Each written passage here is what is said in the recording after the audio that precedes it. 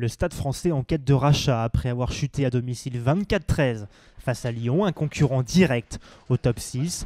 Les Parisiens aimeraient se racheter, mais en face, la marche est haute puisque La Rochelle a signé 8 succès en championnat à domicile en autant de rencontres.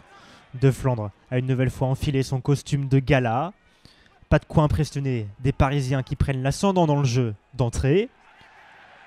La Rochelle est sur le reculoir, tente de montrer les muscles à l'image de ce plaquage sur Macalou. Mais les Parisiens ne sont pas effrayés, continuent d'avancer. Et c'est finalement Fizioy qui tend le bras pour aller inscrire les premiers points de la soirée. Les Rochelais ont tenté de s'accrocher, mais Paris profite d'une longue possession pour inscrire les premiers points. Les Parisiens continuent alors, accentuent même leur domination, à l'image de cette percée de Van qui libère. Sur chaque possession, Paris gagne de précieux mètres. Et c'est finalement Stassen qui voit la porte s'entr'ouvrir et qui en profite pour se faire la malle et aller faire le break. Pour les Parisiens, à l'image de leur public, les Rochelais sont cueillis à froid. Paris joue vite et bien en cette entame de match. Les Rochelais tentent alors de communiquer entre eux pour trouver les solutions et se refaire la cerise dans cette rencontre. Mais Paris est pragmatique. La Rochelle indisciplinée.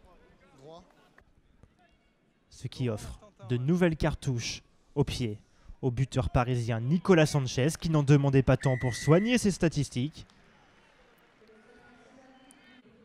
De Flandre est refroidi à la pause. Ce sont les Parisiens qui mènent 20 à 3 en terre maritime. La Rochelle hausse alors le ton en deuxième période, inscrit 6 points grâce au pied de West.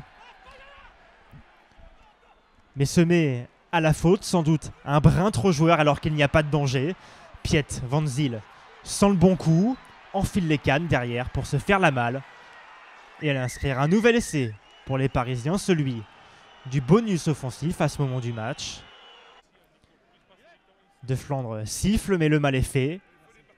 La tergiversation rochelaise est payée cash avec cette excellente interception de Van Zyl. Les Parisiens tentent alors de défendre leur dû et veulent repartir avec les 5 points. Mais La Rochelle n'a pas dit son dernier mot.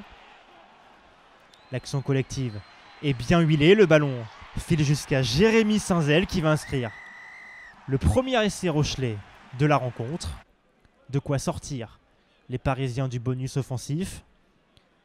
Lorsque les Rochelais jouent de la sorte, il est difficile de les arrêter. Mais La Rochelle l'aura trop rarement fait lors de ce match.